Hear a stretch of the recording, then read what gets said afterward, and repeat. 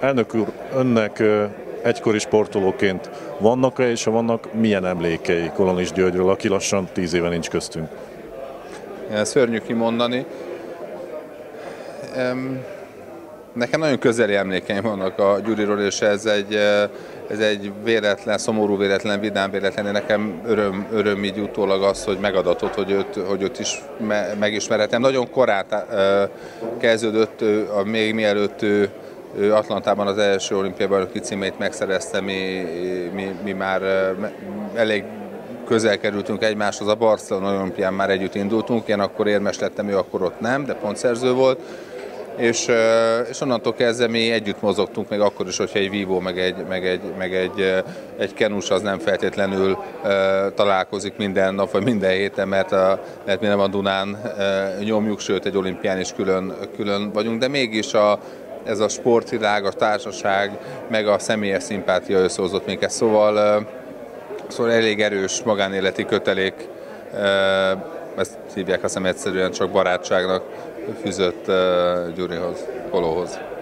Nyilván ő egy kétszeres olimpiai bajnok, kenus legenda, de mégis biztos, hogy volt benne más olyan emberi tulajdonság is, amire emlékezni kell, ami fontos lehet a most felnövő generációk számára is.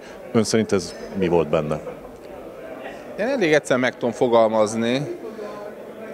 Én azt hiszem, hogy, hogy az ő varázsa, a személyiségének a varázsa az abból abban rejlett, hogy, hogy, hogy ő ak- akármilyen sikereket is ért el az életben, egy picit sem változott meg. És ez nagyon, ez, ez nagyon, nagyon nehéz, mert az ember, hogyha sikeres lesz, pozícióba kerül, vagy hatalma lesz, tehát az élet a tenyerén kezdi hordozni, akkor, akkor az én tapasztalatom az, hogy nagyon erős és kiegyensúlyozott személyiségnek kell ahhoz lenni, hogy megmaradjon az ember hűnek saját magához. És Koló az pontosan ugyanolyan volt, mint előtte. Pontosan úgy állta a barátai rendelkezésre, mint korábban. Ő pontosan úgy végezte a munkát, mint, mint korábban. Pontosan annyira volt megközelíthető, nem, nem viselkedett, máshogy nem voltak allűrjei önmagában már ez, ez, ez, ez elég ahhoz, hogy, hogy, hogy, hogy, hogy, hogy valaki maga köré vonza